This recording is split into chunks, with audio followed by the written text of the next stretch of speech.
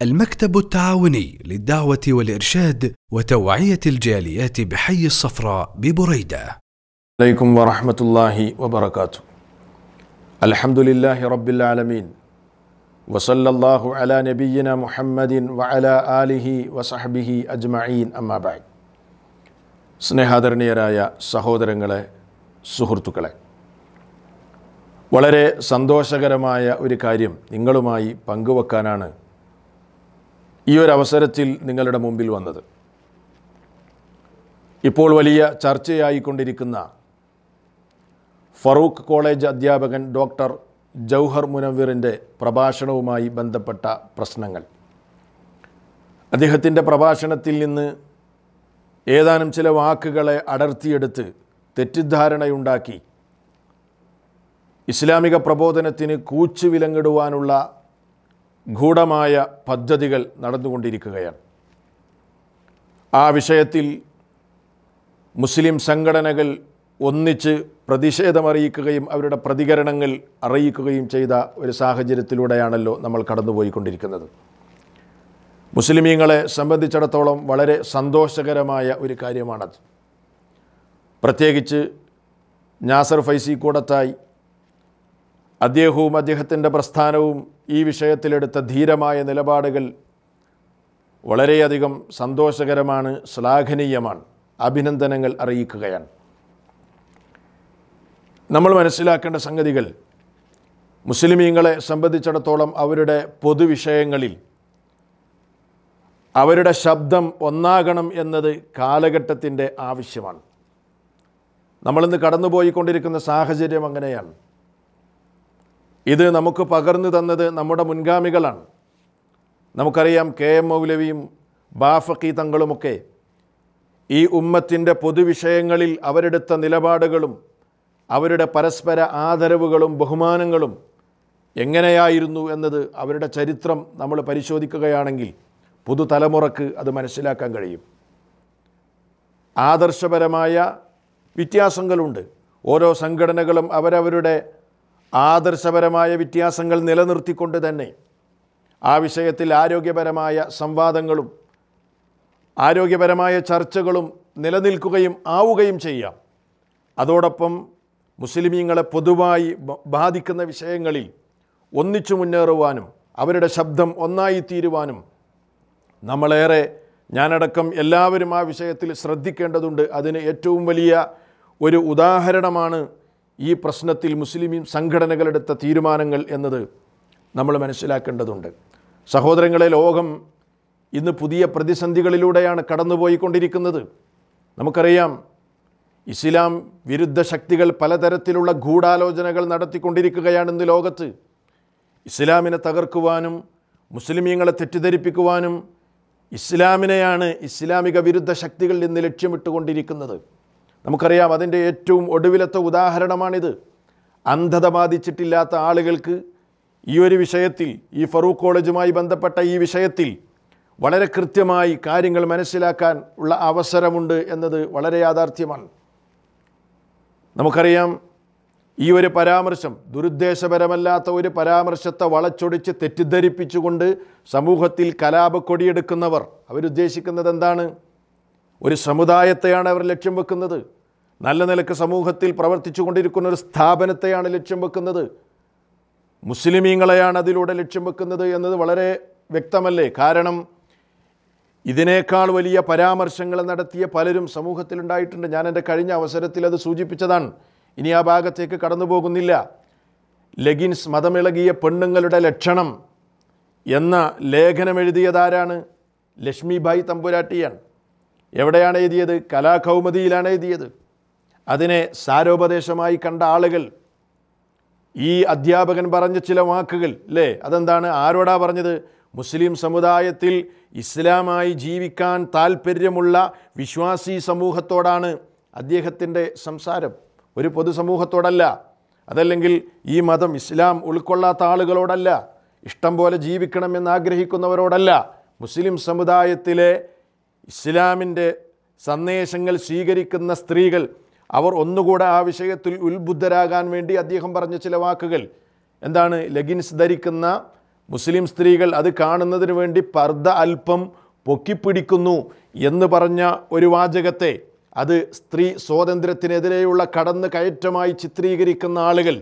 നോക്കൂ നിങ്ങൾ ഈ ലേഖനത്തിനെതിരെ കലാകൗമുദിയിലെ ഈ ലേഖനത്തിനെതിരെ ഒരു ശബ്ദമുണ്ടായില്ല നാട്ടിൽ.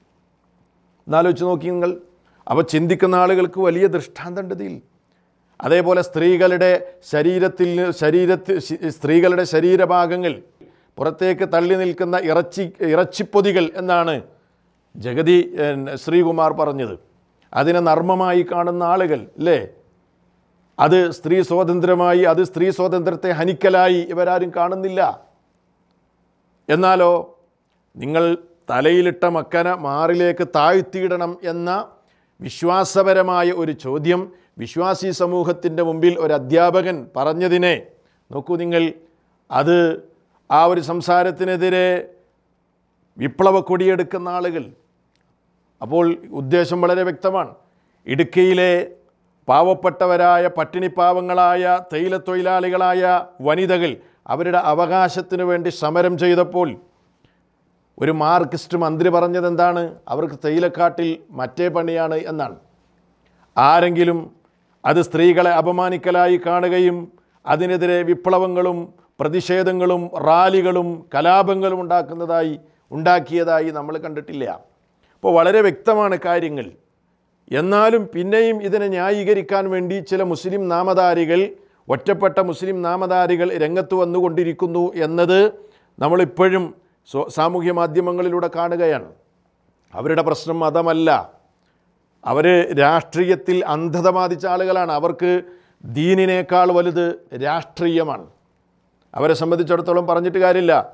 മരിക്കണം മരണാനന്തരം മറ്റൊരു ജീവിതമുണ്ട്.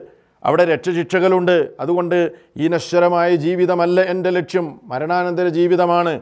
അവിടെ രക്ഷപ്പെടണമെങ്കിൽ എനിക്ക് കൃത്യമായ ഇസ്ലാമിക ബോധമുണ്ടാകേണ്ടതുണ്ട്. അതാണ് എന്റെ ജീവിതത്തിൽ ഏറ്റവും പ്രധാനം. അത് കഴിച്ചിട്ടേ ബാക്കിയുള്ളൂ എന്ന് മനസ്സിലാക്കാനുള്ള തോഫീക്ക് അവർക്കുണ്ടായിട്ടില്ല. അവരോട് സംസാരിച്ചിട്ട് കാര്യമുണ്ട് എന്നും എനിക്ക് തോന്നുന്നില്ല.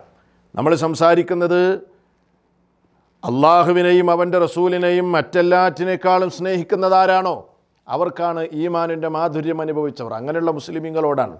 അതുകൊണ്ട് അതല്ലാത്ത ചില മുസ്ലിം നാമധാരികൾ വീണ്ടും ഇതിനെയൊക്കെ ന്യായീകരിച്ചുകൊണ്ട് രംഗത്തുണ്ട് എന്നത് നമ്മൾ വിസ്മരിക്കുന്നില്ല. വേറെ ചില സഹോദരിമാർ മുസ്ലിം നാമധാരികളായ സ്ത്രീകൾ ഞങ്ങൾക്കിഷ്ടമുള്ളത് ധരിക്കും എന്ന് പറഞ്ഞുകൊണ്ട് പ്രത്യക്ഷപ്പെട്ടത് കാണാനിടയായി എന്താണ് ഇവർ പറയുന്നത്? ഇവരോടാരും നമ്മൾ സംസാരിച്ചിട്ടില്ലല്ലോ പ്രബോധകന്മാർ സംസാരിച്ചിട്ടില്ലല്ലോ നിങ്ങൾ ഇഷ്ടപ്പെട്ടത് ധരിക്കണ്ട എന്നാരും പറഞ്ഞിട്ടില്ലല്ലോ മുസ്ലിമായി ജീവിക്കാൻ താല്പര്യമുള്ളവരോട് മാത്രമല്ലേ സംസാരിച്ചിട്ടുള്ളൂ? നല്ല കുടുംബത്തിൽ ജനിച്ചവർക്കേ സംസ്കാരമുണ്ടാവുകയുള്ളൂ സംസ്കാരമുള്ളവരെ നല്ല വസ്ത്രം ധരിക്കുകയുള്ളൂ. വസ്ത്രം എന്നത് മനുഷ്യന്റെ സംസ്കാരത്തിന്റെ ഭാഗമാണ്. മാനവ ചരിത്രമെടുത്ത് പരിശോധിച്ചാൽ മനസ്സിലാകുന്ന കാര്യം. വസ്ത്രം എന്നത് മാനവ സംസ്കൃതിയുടെ സംസ് സംസ്കാരത്തിന്റെ ഭാഗമാണ്. നല്ല വസ്ത്രം ധരിക്കണമെന്ന് ചിന്തിക്കുന്നവർ സംസ്കാരമുള്ളവരെ ചിന്തിക്കുള്ളൂ. നല്ല കുടുംബത്തിൽ ജനിച്ചവർക്കേ അതിന് സാധിക്കുള്ളൂ. നല്ല വാപ്പാക്കും മാക്കും ജനിച്ചവരെ അതാണ് റസൂലുള്ളാഹി അള്ളഹി അലൈഹി വസല്ലം പറഞ്ഞു കുല്ലു മൗലൂദിൻ യൂലദു അലൽ ഫിത്ര എല്ലാ കുഞ്ഞും ഇവിടെ ശുദ്ധ പ്രകൃതിയോടുകൂടെയാണ് ജനിക്കുന്നത്. പിന്നെ മാതാപിതാക്കളാണ് അവനെ നന്നാക്കുന്നത് ചീത്തയാക്കുന്നത്. നല്ല കുടുംബത്തിൽ ജനിച്ചവർ മാന്യമായി വസ്ത്രം ധരിക്കും സംസ്കാരമുള്ളവർ. സംസ്കാരമില്ലാത്തവർ എന്തും ധരിക്കും ചിലപ്പോൾ ധരിക്കാതിരിക്കും. കാലം മാറുന്തോറും ജനങ്ങൾ കാലികളായി മാറിക്കൊണ്ടിരിക്കുകയാണ്.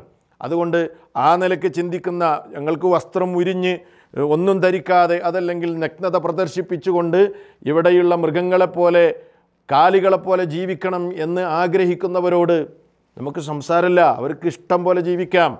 അവരുടെ സ്വാതന്ത്ര്യത്തിൽ ആരും കൈ കടത്തുന്നില്ല. നേരെ മറിച്ച് ഇവിടെ മതസമൂഹമുണ്ട്. ഇസ്ലാം അനുസരിച്ച് ജീവിക്കാൻ ആഗ്രഹിക്കുന്ന ആളുകളുണ്ട്.